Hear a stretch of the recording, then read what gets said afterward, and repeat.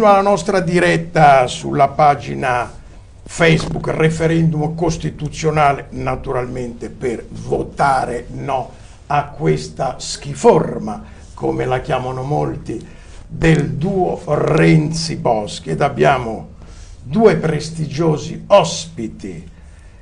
Al centro il professor Alessandro Pace, presidente del Comitato per il No nel referendum costituzionale e al suo fianco il professor Massimo Villone, presidente del Comitato per l'abrogazione delle norme della legge elettorale e, lo aggiunge il cronista, il famigerato Italicum, una legge che fa sorridere la legge Acerbo, della quale poi in altra trasmissione illustreremo i telespettatori per far capire come dietro questo ordito c'è la volontà di far diventare cittadini sudditi naturalmente collegati a quelle che sono le oligarchie. L'Italia dovrebbe diventare una provincia dell'impero e l'attuale Presidente del Consiglio vuol portare nel nostro Paese quello che 30 anni fa il signor Blair portò in Inghilterra. Naturalmente queste politiche stanno deprimendo gli stati, aumentando la povertà e naturalmente cacciano i cittadini dal rapporto con le istituzioni perché hanno creato proprio una disaffezione totale e cogente. Il presidente Pace oggi su questi giorni i suoi giornali perché naturalmente ha fatto le giuste rimostranze perché questa RAI è diventata una Renzi RAI. Il referendum ha dato 7 ore a Renzi e 79 secondi al no, mentre e 79 secondi al no. Capite? 7 ore a Renzi e 79 secondi al no. E allora diamo subito la parola al presidente Alessandro Pace, che ricordiamo è un costituzionalista e docente italiano, allievo di Carlo Esposito oltre che di Vecchio Crisafulli. Nell'85 è stato tra i fondatori della Società Italiana Costituzionalisti, di cui è stato segretario nel primo Consiglio di e presidente nel triennio. Si è laureato in giurisprudenza Presidente, lei ha toccato con mano cosa vuol dire la censura, cosa vuol dire quando chi vive nel mondo della RAI di Stato si autocensura preventivamente, non c'è più bisogno delle chiamate, ma si adeguano al mainstream, come vogliono chiamare in questo momento. E quindi i dati sono questi, sono incontrovertibili, hanno paura di fare sentire le voci del no. No perché naturalmente se i cittadini dovessero non votare noi, quindi accogliere le desiderata del principe di turno, si troveranno sudditi, sudditi e sudditi. Come diceva Di Vittorio, sarete sempre costretti ad andare col cappello in mano dal principe per farvi riconoscere quelli che sono i diritti fondamentali. Un balzo indietro a prima della rivoluzione napoleonica. Presidente, una breve nota e poi abbiamo tutta una serie di domande e rischiamo di esaurirle nei tempi che Teleambiente, la pagina Facebook ci consentono. Ricordiamo che poi queste trasmissioni andranno in differita Teleambiente, Teledonna, RTVA, TO2 Consumatori Channel. A lei la parola. La domanda? La domanda è perché vi siete costituiti in un comitato per dire no a questa controriforma Renzi-Boschi, quella che noi abbiamo chiamato riforma o deforma costituzionale. Eh, quando ci siamo costituiti eh, erano già state votate cin eh, cinque volte, quindi ci siamo costituiti eh, tempestivamente, ma già prima dell'ultima votazione, perché ormai sapevamo che non c'era più possibilità di cambiare le carte in tavola. E la come lei ha chiamato lei, la schiforma era già ben costruita, eh, nel senso che eh, ha una finalità accentratrice, in questo senso, perché nel rapporto tra Stato e Regione diminuiscono i poteri della Regione e, e aumentano i, quelli dello Stato. Poi a, a livello centrale eh, il, il, Senato riduce di gran lunga i propri poteri e soprattutto, cosa più gravissima, non è più eletto direttamente dal popolo e praticamente i poteri si, si, in, si indirizzano unicamente alla Camera dei Deputati, ma, ma la Camera dei Deputati serve soltanto per eh, avere, dare la maggioranza al Presidente del Consiglio. Quindi come, come, vedete dal, eh, se, eh, la, la, le regioni diminuiscono i poteri, gli, gli aumentano quelli dello Stato e soprattutto aumentano i poteri del Presidente del Consiglio. Però, diversamente da dalla legge costituzionale di Berlusconi del 2005 non è che vengono aumentati i poteri del primo ministro, vengono diminuiti i poteri contro, dei contropoteri. Questa è la cosa incredibile, perché il, il, eh, il, Senato praticamente non ha più poteri alternativi né eh, eh, i, i, i poteri delle opposizioni non sono attuali, che sono previsti, ma sono, saranno, eh, realizzati, saranno realizzati soltanto a livello di regolamenti parlamentari. Oltre tutti sappiamo che i regolamenti parlamentari per essere approvati hanno bisogno della maggioranza assoluta e l'unico che ha la maggioranza assoluta è il partito del Presidente del Consiglio. Infatti eh, il suo collega quotidianista Ainis scrive sul Repubblica che proprio il rischio è che tutto quello che viene sbandierato oggi non verrà mai attuato dal Parlamento perché essendo schiavo del principe deciderà lui come e quando far applicare quelle eventuali norme di democrazia certo, certo. previste in questa riforma o schiforma costituzionale. Ma intanto il tema che abbiamo toccato anche con il professor Zagrebessi e con Alessio Grancagnolo, ecco, ci sono altri profili, molti profili di contrasto tra la riforma e la sentenza numero uno del 2014 della Corte. Entriamo nel merito. Mi limito al, al profilo più ridondante per ciò che riguarda la legge costituzionale eh, non tanto per la legge elettorale di cui parlerà sicuramente il mio amico e collega Villone. Ora, la Corte Costituzionale nella sentenza 1 del 2014 ha detto qualcosa di estremamente importante e attuale. Ha, ha, ha sottolineato che l'articolo 1 della Costituzione che garantisce, che proclama la sovranità del popolo, che si esercita nelle forme e nei limiti della Costituzione e ha spiegato che cosa significa forme. Forme significa l'elettività diretta da parte dei cittadini delle Camere politiche. Questo che significa? Che il Senato, secondo la Corte Costituzionale, dovrebbe essere eletto dai cittadini e non dai consigli regionali. È già, è già di, per questo è, è risolutivo. Eh?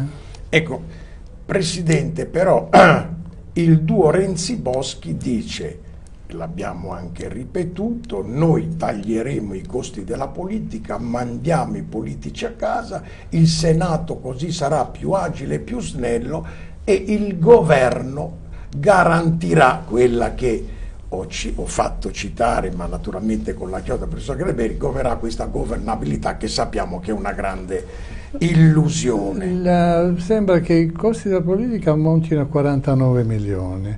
E dagli studi che sono stati fatti, eh, contando quelli che sono i cittadini italiani, il costo della politica diminuisce di circa 40 centesimi per, per uno. Eh, ma a mio modo di vedere il problema dei costi della politica è, è molto molto demagogico perché bisogna vedere come questi costi della politica sono stati utilizzati. Eh, se i costi della politica sono stati utilizzati perché le, eh, le strutture, le, le, mm, eh, la Camera dei Deputati, eccetera, funzionino, quei costi sono benvenuti. Quindi, e non sono eh, delle, diciamo, delle, degli sprechi. Presidente, questo contenuto della riforma costituzionale Boschi è coerente ed omogeneo? A me sembra di no.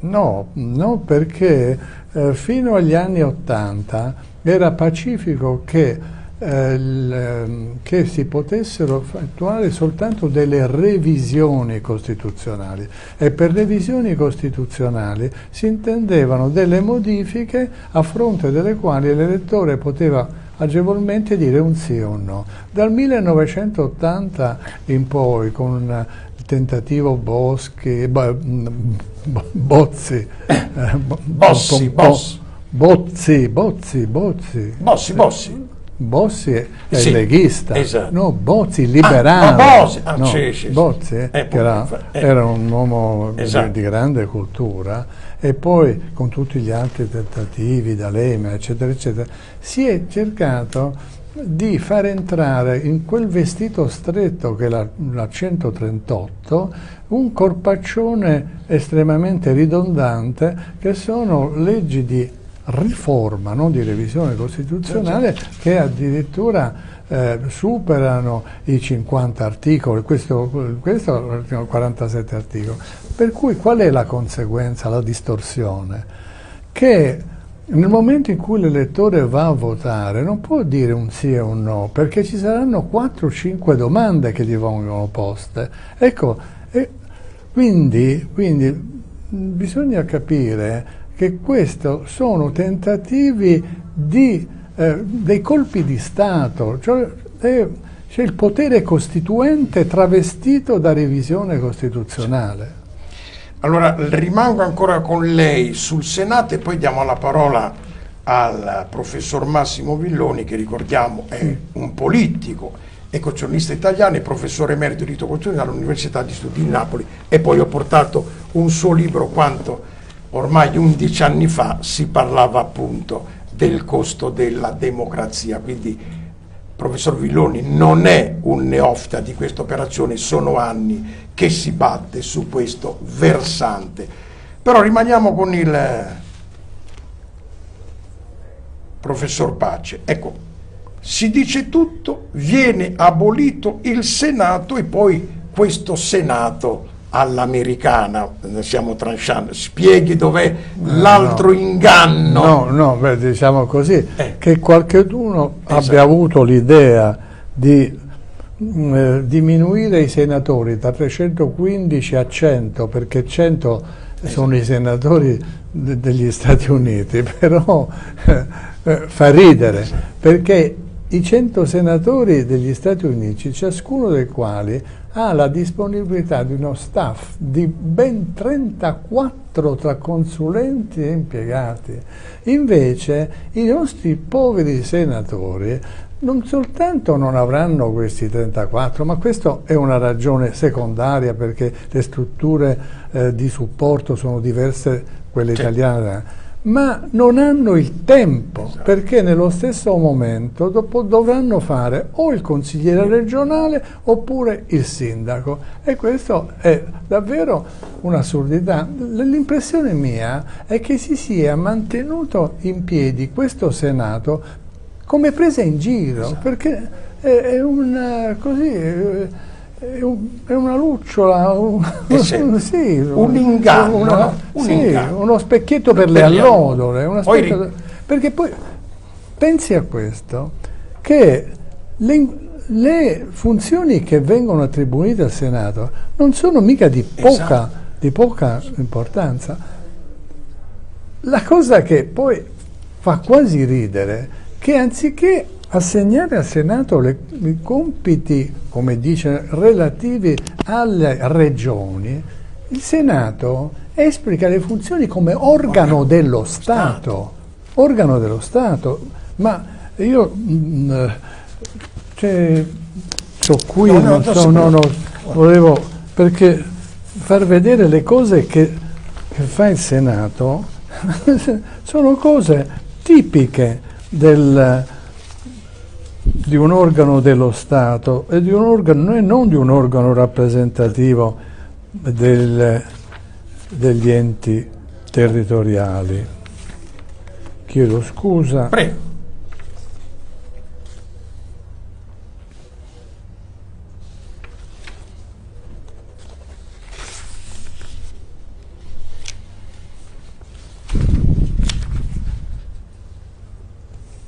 Mamma mia.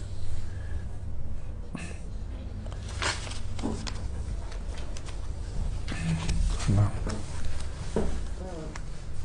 Che dovrei interromperla questa cosa. Che Eh, ma cosa- ade- no. adesso, adesso Vabbè. lei, lei- Eh, non ho trovato Adesso- perché non ho qui gli articoli Eh, della so, eh, Costituzione. eh.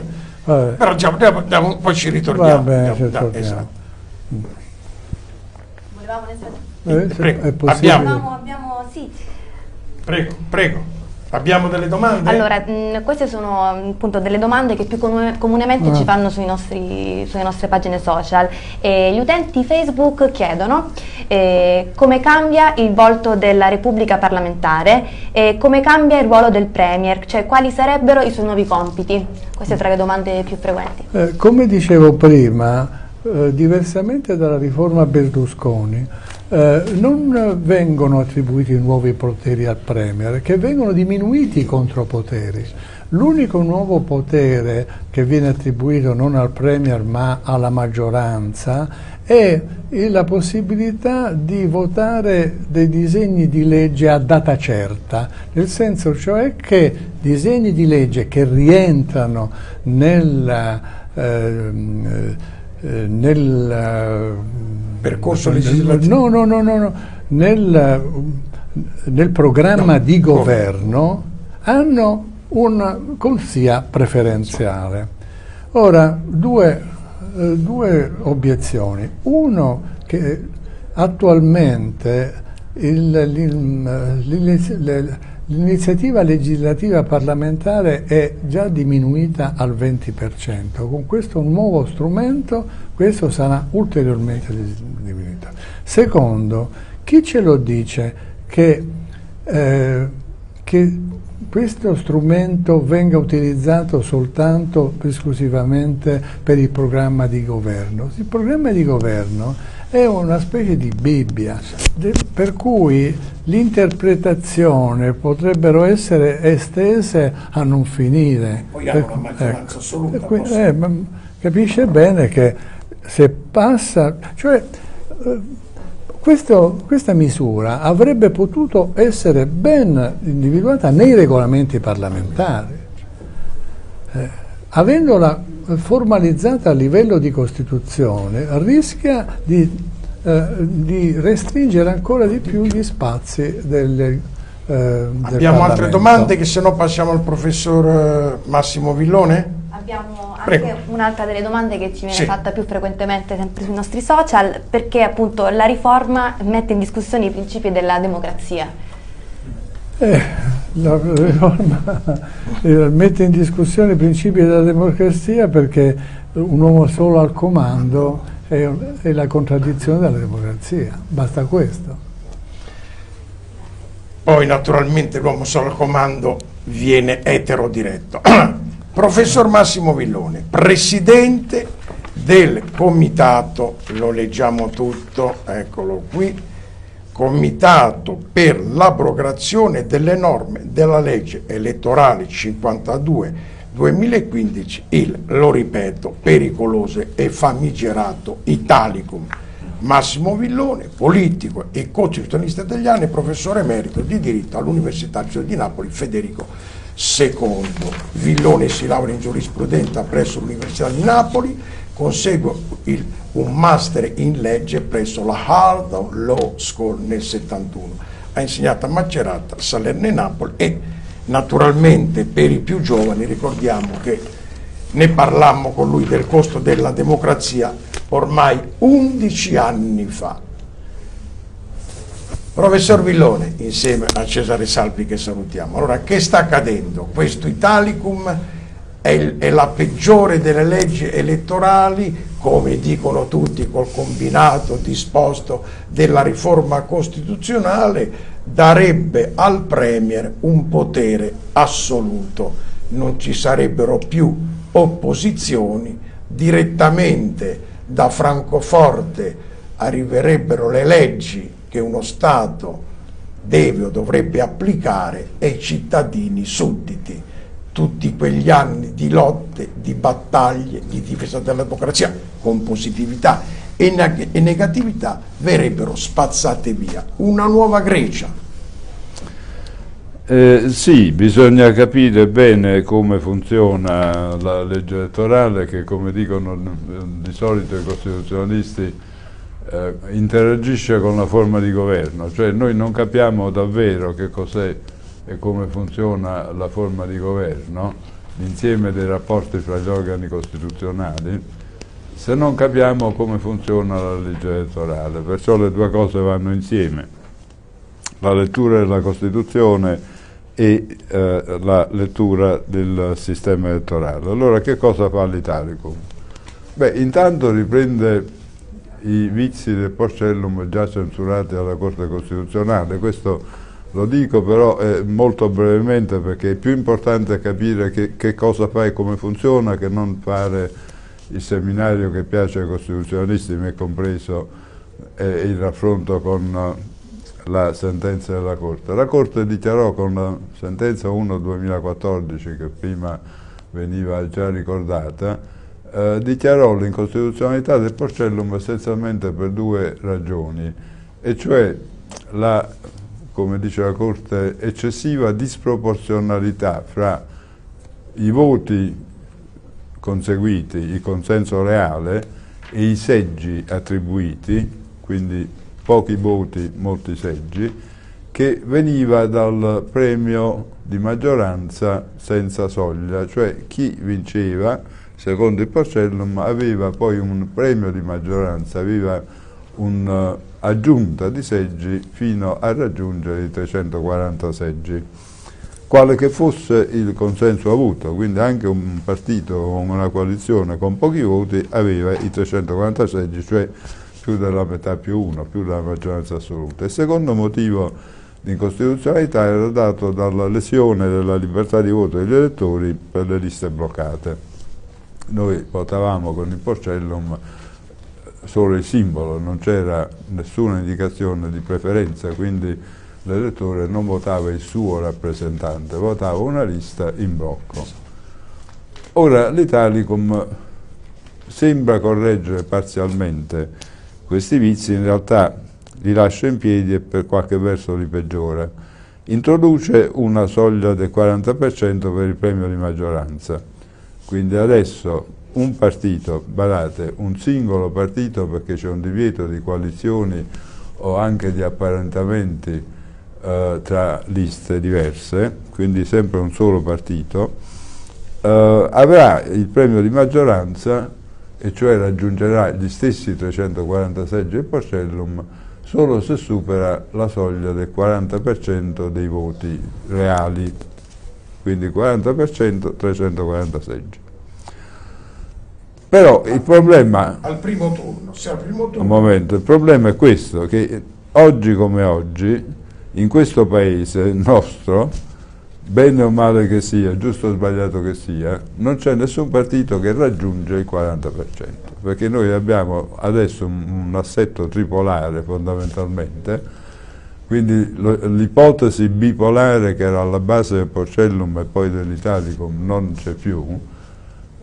Abbiamo tre forze sostanzialmente equivalenti, diciamole il PD, centrodestra e il Movimento 5 Stelle, tutte circa il 30% più o meno, quindi lontane dalla, dalla soglia necessaria, e in questo caso si attiva un secondo turno che però essendo il sistema ormai tripolare è in realtà eh, dire, il modello normale di applicazione della legge, quindi noi il primo turno con il 40% ce lo possiamo dimenticare, sappiamo che avremo di regola nell'assetto di oggi il secondo turno.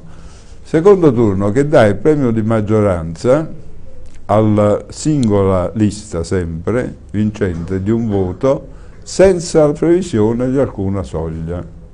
E questo è il trucco perché significa che un partito che come dire, ha magari il 24-25% di voti veri avrà i 340 seggi. Quindi c'è lo stesso come dire, vizio di fondo che aveva il Porcellum e questo è il primo punto da sottolineare, questa è la prima, la prima ferita diciamo, per il sistema democratico. Poi c'è la parte che riguarda l'uomo solo a comando, per così dire, no? quindi è una cosa che vediamo se guardiamo come funziona veramente poi nella politica l'Italicum, perché che cosa, la domanda la possiamo mettere in questi termini, dunque il partito che vince avrà comunque 340 seggi sul totale di 630, questo lo sappiamo per certo.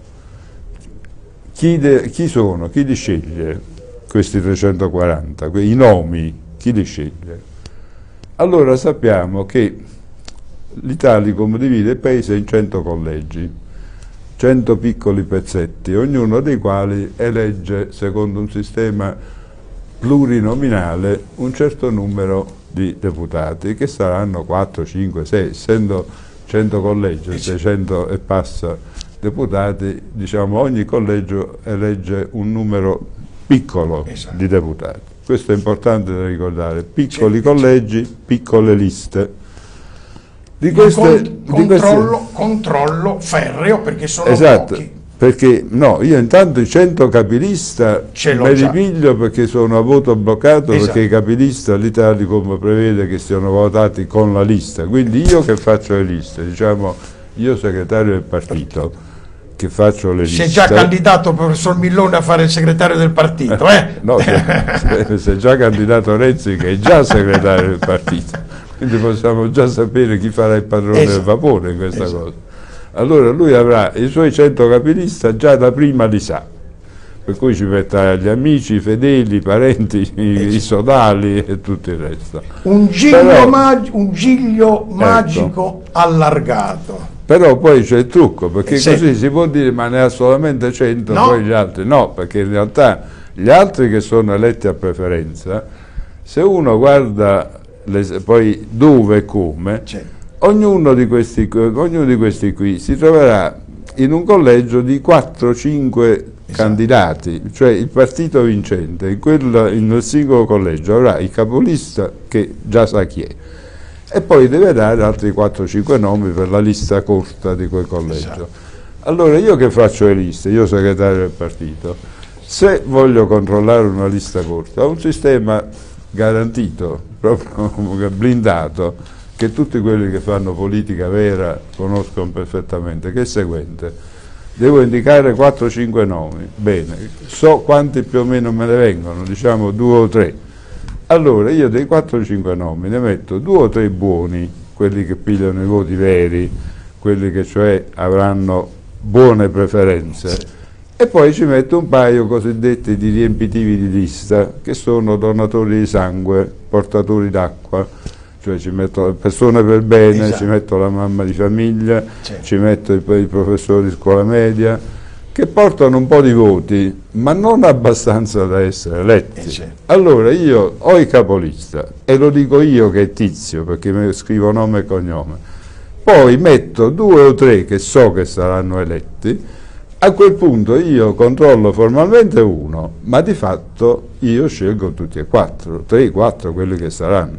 Allora questo significa che io, sempre segretario di partito, io avrò, non dico tutti e 340, forse me ne perdo qualcuno perché poi il caso succede, eccetera.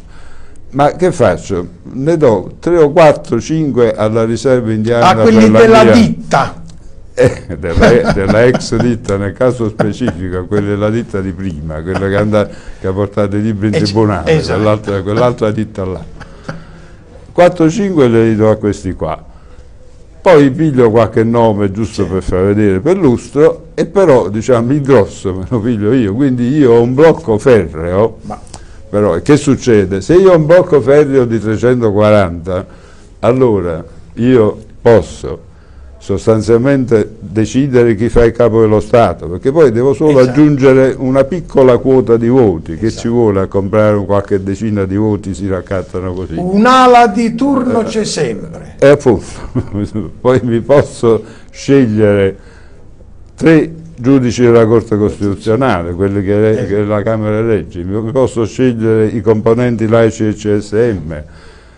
In realtà per me il, eh, come dire, il voto di fiducia diventa una, una cosa puramente formale perché a chi, chi può nominare il capo dello Stato se non me che ho una maggioranza di Esatto. 340, quindi i poteri del capo dello Stato sono svuotati. In realtà posso decidere io quando si scioglie, perché se io mi dimetto, chi potrebbe mai trovare il capo dello Stato che ha una maggioranza diversa dalla mia di 340? Quindi se io mi dimetto è un'impossibilità di funzionamento che costringe il capo dello Stato a sciogliere le Camere. Esatto. Quindi io ho in mano la nomina, lo scioglimento anticipato, la Corte Costituzionale, il Presidente del Consiglio, il CSM e le autorità. E, e che non è l'uomo solo al comando. Se poi voglio fare due mandati con Eh sì, Renzi, e io questa cosa ce l'ho in mano per dieci anni. Però no, le do la parola al Presidente Paci che devo fare una domanda, no, ma vorrei aggiungere che l'altra polpetta avvelenata, che ci sono i Renzi di turno, la Boschi di turno, i Nannicini di turno, che possono essere capolista in 10 collegi, quindi hanno sicuro 200 eletti dei loro. E più, come ha spiegato molto bene il professor Villone, siccome il voto deve essere uomo-donna, i secondi e i terzi della lista devono votare per quelli perché così hanno la certezza di entrare dentro. Quindi voglio dire, il, il- come si dice, il biscotto è assicurato. L'unica fatto è che se non prende subito il 40% ma lo prende al secondo turno invece di averne 340 ce n'ha 327 che sono sempre comunque una vabbè. maggioranza chi prima dicevano bulgaro con, prima dicevano bulgaro con dispetto invece bulgaro con affetto Presidente Pace Certo. No, io volevo fare una domanda all'amico Villone, perché eh, anche la ministra Boschi ha detto che questi collegi sono piccoli collegi.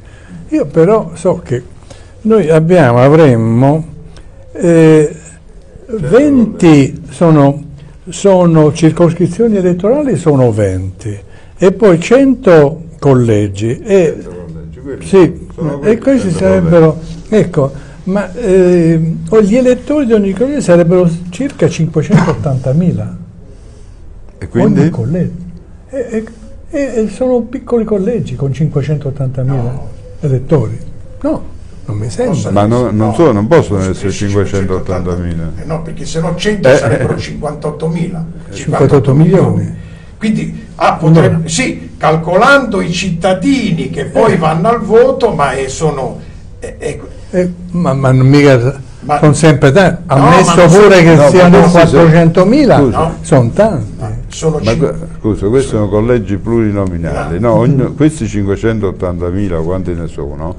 Ehm, questo è un po' variabile le dimensioni dei collegi, quindi non è proprio, ma in ogni caso devono eleggere, Eh, certo. eh, credo dai 4 ai 7, Sì, questo, ai 7 certo, dai 3 ai 9 deputati. dai 3 ai 9, insomma, ai io nove deputati. pensavo un po' meno, forse non so se Poi quelli tre o sono gli abitanti, non gli elettori. Sì, quelli sono gli abitanti sicuramente, ma in ogni caso, in ogni caso il problema è quanti ne devi eleggere e come sono indicati quelli che tu eleggi.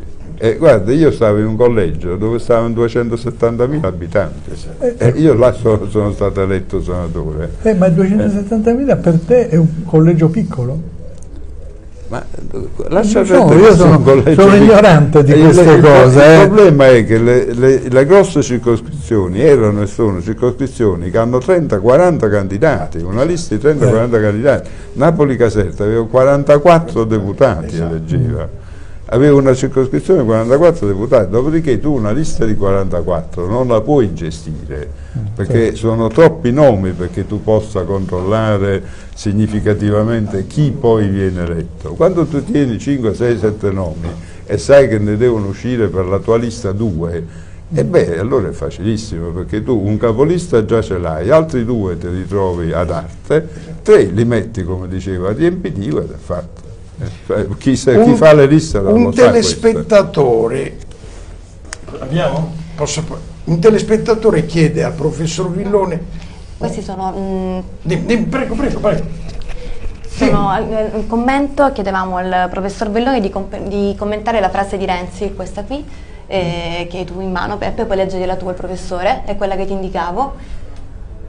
Questa qua, ma ai giovani di Confindustria dice Hollande, Cameron, Merkel, pigiano esatto. un tasto, succede qualcosa, è il vecchio discorso dell'uomo solo al potere, delle famoso, il, famo, il famoso dottor Stranamore, no? chi ha la eh, chi ha il pulsante per determinare le scelte globali. Ricordiamo che il Premier Renzi va da Putin per eh. cercare di piazzare qualche cosa e quindi come si vede i giochi sono sempre aperti. Professor Villo, quindi questo uomo al comando è una, è una, follia. Ma io trovo che sia una frase essenzialmente stupida per un uomo di governo, perché io credo che l'uomo di governo in talune occasioni è bene che prema un tasto e che succeda qualcosa, ma in, tale, in altre occasioni penso che sia bene che prema il tasto e non succede nulla e in altre occasioni ancora penso che sia bene che non lo prema quel tasto. Tutto sta a vedere quando è che si fa l'una l'altra cosa. Io credo che Renzi soffra della, della sindrome come dire, eh, di, di, de, del giovanotto che è entrato in una una, nel negozio dove si vendono le caramelle e se le vorrebbe mangiare tutte quante tutte insieme. Gli fa male, gli viene mal di pancia a Renzi e probabilmente verrebbe, purtroppo verrebbe anche a noi, questo è il problema. Lei lo ha già citato ma vorrei sempre un'inflessione. Referendum no a ottobre contro questa che noi abbiamo definito la riforma o deforma costituzionale è proprio quello che, vi, che noi traduciamo in volgare il combinato disposto dell'Italicum, perché non è possibile che uno sia scisso dall'altro. No. Ecco, no, no, ma Purtroppo per... tecnicamente sono scissi, sì, attenzione. Eh, però, perché... no, no, la domanda del cronista. Se però a ottobre dovesse malauguratamente vincere il sì, quindi andati a votare tutti no, cade anche l'Italicum, voglio dire, si no, apre un vulnus, no, però... No, no, no att attenzione. No, qui siamo proprio ecco, per... Eh, no, spieghiamo bene, eh, perché questo è giusto che i telespettatori eh. capiscano bene. Allora, i due referendum, perché sono due referendum esatto. diversi, sono l'uno un referendum cosiddetto con confermativo, l'articolo ex articolo 138 della Costituzione, quindi la domanda è volete voi approvare la legge Renzi-Boschi eh, votata in no! eccetera? E lì la risposta è no, perché se la maggioranza dice no, la legge muore, se la maggioranza dice sì, la legge eh, viene promulgata e pubblicata e, e diventa quindi effettivamente vigente cosa che adesso non è. Esatto. Allora l'Italicum invece è una legge già approvata e il referendum per l'Italicum è un referendum abrogativo che cioè tende a far cadere alcune norme dell'Italicum, in particolare quelle sul premio di maggioranza e eh, sulle, sui capilista bloccati. Esatto che sono i meccanismi di cui stavamo parlando proprio adesso. Questa è una legge già vigente e quindi la domanda ai cittadini là è volete voi abrogare la legge 52 del 2015 nella parte in cui eccetera e quindi là la risposta per chi vuole che la legge cada è sì eh, però diciamolo eh. poco se no adesso in questo caso vabbè. Eh, allora queste due cose sono scisse ora se il, i, gli esiti dei due referendum non, non si incrociano tecnicamente esatto. lei può avere che il referendum costituzionale ha successo e viceversa non si riesce a raccogliere le firme o non ha certo. successo il referendum abrogativo dell'Italicum e viceversa. Esatto. Però eh, bisogna vedere il, dire, il, nesso sostanziale esatto. tra queste cose, perché se eh, la riforma cade, la legge Italicum e quindi vince il no al referendum esatto. costituzionale, l'Italicum rimane di per sé in piedi. Esatto e sarebbe possibile a chi sta adesso in un Parlamento come quello del Porcellum che controlla quindi eh, la maggioranza, sarebbe possibile, senza troppo sforzo, estendere l'Italicum al Senato. È chiaro? Quindi far cadere la riforma non ci garantisce che cada anche l'Italicum, perché ci garantisce soltanto che poi bisogna in qualche modo fare un sistema elettorale anche per il Senato. Ma è possibile estendere l'Italicum al Senato, è chiaro? Eh. E quindi allo stesso modo se invece cade la riforma, ma se, se, se passa la riforma, il, il discorso dell'Italicum è a parte, perché potrebbe invece cadere l'Italicum se fossero state raccolte le firme. La cosa più drammatica è se, cade, è se rimane la riforma e, cade, e, e non ha successo esatto. il referendum contro l'Italicum perché questo significa che noi il paese lo chiudiamo esatto. così come l'abbiamo conosciuto, esatto. quindi diventa, un, diventa un, altro, un, altro, un, altro, pianeta. Esatto. Non, non certamente nei termini della democrazia come l'abbiamo conosciuta fin qui. Però se...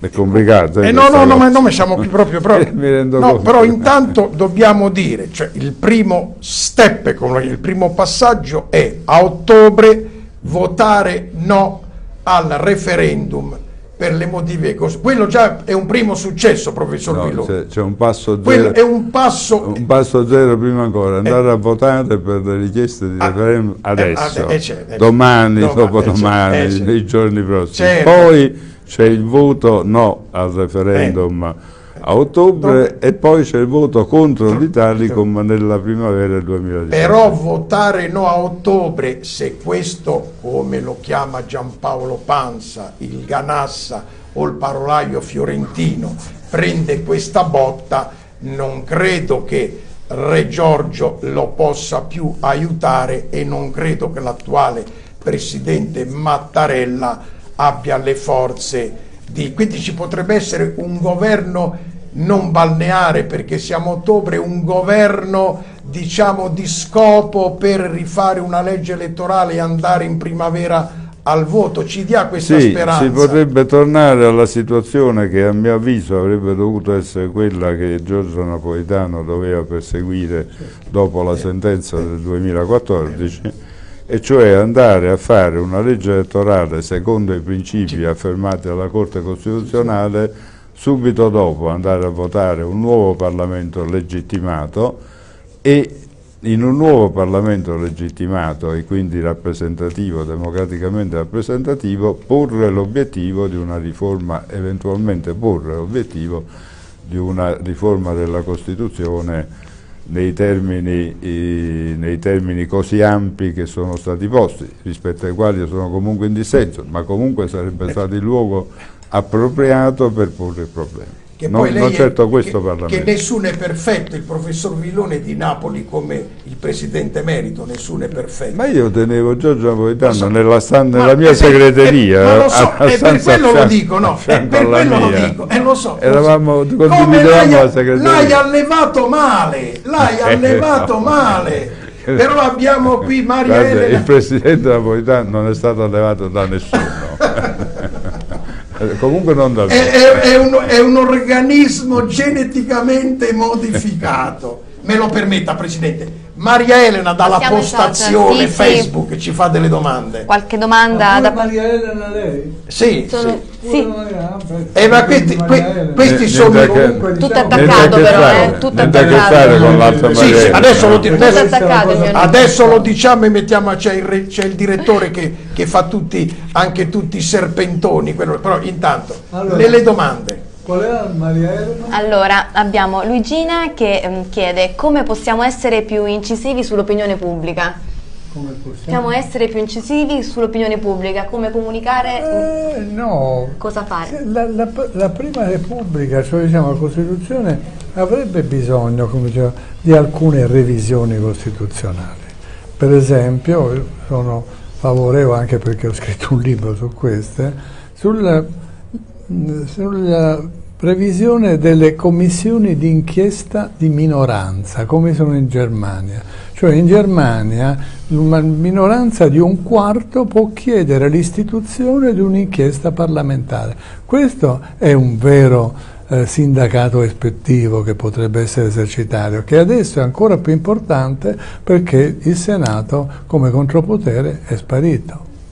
Altro, poi ci sono un'altra riforma, revisione costituzionale che sarebbe davvero importante, è quella che eh, venga demandata alla Corte Costituzionale il giudizio sulle ineleggibilità e, inele e incompatibilità dei parlamentari che per adesso sono discusse dal, e, e, decise da parte della Camera dei Deputati e del Senato che, che, vengono decise quando ormai la legislatura è finita. Altra domanda? Posso, posso, sì, posso come no? a queste note che diceva adesso il collega Pace. Io direi che, che cos'è? Una signora? Una, una, ragazza? Una mamma di famiglia? Non sappiamo. Non lo sappiamo? Luigina, comunque Luigina eh, che ci Luigi. scrive. Perché la domanda da porre per, perché la, la, gente ascolti, secondo me è una sola. Ma tu vuoi contare o no? Perché è la sola cosa che alla fine importi. Poi il resto, diciamo, si coglie o non si coglie allora io vorrei fare un, qualche esempio. Allora, per esempio, se Luigina, per esempio, sta a scuola, fa la professoressa, dice, Luigina, tu hai notato che il governo e la maggioranza hanno fatto una legge sulla scuola nonostante che l'intero mondo esatto. della scuola dicesse no. Se Luigina fa l'operaia, le direi, Luigina, ma tu hai capito che adesso se ti licenziano senza causa tu non hai più il diritto al reintegro se non in casi eh, straordinari ed essenzialmente difficili da configurare, no? Ecco, questa cosa io chiederei. Perché, io prendo la palla. No, no, aspetta, fammi finire, no, fammi no. finire, perché la gente deve capire che la Costituzione è fatta per loro perché se no giustamente dice ma a me che mi porta allora devono capire che, questi, che, che le riforme che ha fatto il governo sono riforme che adesso la situazione di ora che permette a questo Parlamento sordo di fare cose sulla pelle delle persone la peggiora e, le, e i referendum che noi stiamo cercando di portare avanti vogliono bloccare questo, questo. allora la domanda a Luigina è e ti pare che questa cosa ti interessi o no? Presidente Io volevo, Pace. Sì, volevo prendere lo spunto per ritornare sulla eh, sulla revisione, sulla riforma oh. costituzionale. Sulla schiforma. Sulla schiforma ah. costituzionale, per ricordare che l'ultima, la sesta votazione, quella decisiva, è stata approvata da 360 deputati con 6 astenuti, eccetera. Ma vi immaginate voi che una modifica costituzionale potrebbe, possa avvenire con questi numeri? Da un punto di vista giuridico è possibile, ma questo sta a significare che nasce malaticcia perché non avrà il seguito della maggioranza degli italiani. Ed è qui, è qui che poi sono nate delle cose abbastanza comiche, perché sia il presidente napolitano sia la riforma hanno detto che ci sarà bisogno di aggiustamento. Esatto. Ma, ma, noi studiamo, abbiamo scritto, eh, una Costituzione non può nascere con gli aggiustamenti eh, certo. perché significa che è già nata morta. Come ha detto il tal Violante, che eh. si, poi si possono fare gli aggiustamenti. Ma, ma per carità di Come Dio, tal Sabino ma... Cassese, come quel tal Dalimonte che ha mandato una polpetta avvelenata su Sole 24 dicendo però voi dei 5 Stelle vista l'aria che tira, dove dovreste votare sì a questa riforma perché poi potreste governare. Ah, no, no. Quindi, eh, però, voglio dire, è però quella stampa nazionale, pubblica, privata, eh. naturalmente lei lo sa, è ormai autocensurata. Abbiamo altre, altre, dom altre domande, domande da parte di Diego. Eh, Diego ci chiede, mh, se i costi dello Stato sono 840 miliardi di euro, perché Renzi dice che tagliando 200 senatori, circa 200 milioni di euro, si risparmia? E poi continua, dato che i consigli regionali sono votati in tempi diversi, come si può dire che si favorisca il dialogo e sia un contrappeso alla maggioranza? Ma Die- questo è Diego? Questo è Diego Diego che perché ci Diego pensa che i presidenti del Consiglio dicono sempre la verità, dicono anche le bugie. Caro Diego, svegliati. Eh, no, no, ma però, eh, no, eh, eh, eh, praticamente Sì. l'abbiamo detto anche noi, lo ripetiamo, Sì. questa poi del Senato eletto, regioni, comuni, è una follia perché viste le scadenze elettorali, questo Senato sarà un giro di giostra perché un sindaco starà tre anni, un sindaco due, un sindaco cinque, poi ci sarà un Ma vede, ma questo sarebbe anche il meno, perché che ci sia una, una durata diversificata si potrebbe anche capire, ma il problema, la domanda è non quanto stanno sulle poltrone quelli lì, ma che cosa Eh, rappresentano eh, lo so.